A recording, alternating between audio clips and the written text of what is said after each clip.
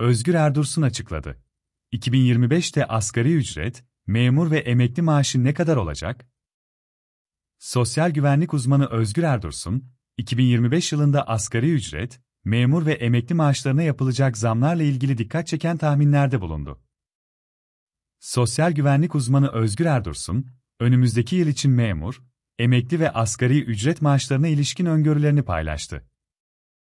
Habertürk'te katıldığı canlı yayında konuşan Erdursun, 2025 yılında yapılması muhtemel zamlar hakkında dikkat çekici açıklamalarda bulundu. Asgari ücret ve emekli maaşlarında beklenen artışlar.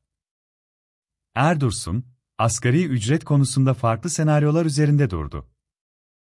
IMF'nin Türkiye'ye yönelik tavsiyesine değinen uzman, IMF'nin asgari ücrette %14'lük bir artış önerdiğini, bu durumda 17 bin lira olan asgari ücretin 19.383 TL'ye yükseleceğini ifade etti. Ancak Erdursun, kendi tahmininin daha yüksek olduğunu belirtti ve asgari ücretin 20 bin lira ile 21.250 lira arasında olacağını düşündüğünü söyledi. Emekli maaşları konusunda da önemli açıklamalarda bulunan Erdursun, en düşük emekli aylığının 12.500 TL'den 15.000 TL'ye çıkabileceğini öngördü.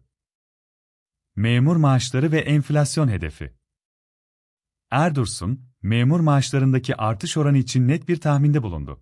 Ey memurların aylıklarına %10 artış yapılacak.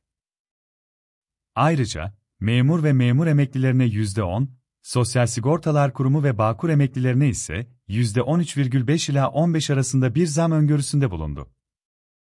Uzman, bu tahminleri yaparken Türkiye'nin ekonomik hedeflerini de göz önünde bulundurduğunu vurguladı.